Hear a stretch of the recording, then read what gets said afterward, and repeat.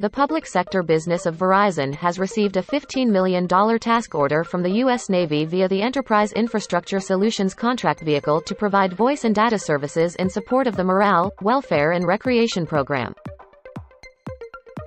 EMASEC has booked an approximately $83 million task order from the U.S. Air Force to perform cyber-related services at Joint Base San Antonio Lackland and Scott Air Force Base. Jim Blastos, formerly Vice President of Global Supply Chain at Autocar Trucks, has been named VP of Supply Chain Management at Austal USA. The National Reconnaissance Office awarded strategic commercial enhancements contracts for electro-optical technologies to Airbus U.S. Space and Defense Business, Albedo Space, Luxembourg-based Hydrosat, Muon Space, and Turion Space. Defense contractor AeroVironment has added retired four-star U.S. Army General Joseph Votel to its board of directors. Lockheed Martin has concluded a guided flight test of the medium-range version of its Joint Air-to-Ground Missile System at China Lake Test Range in California.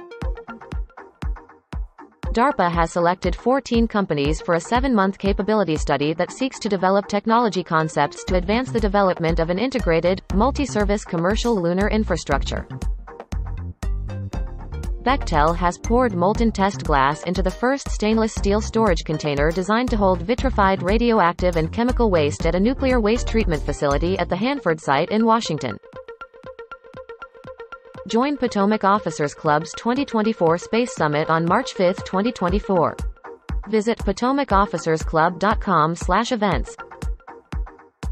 LeoLabs and Aalyria will combine their technology platforms to address space awareness challenges facing government and commercial communications networks across ground, air, sea and space under a partnership agreement.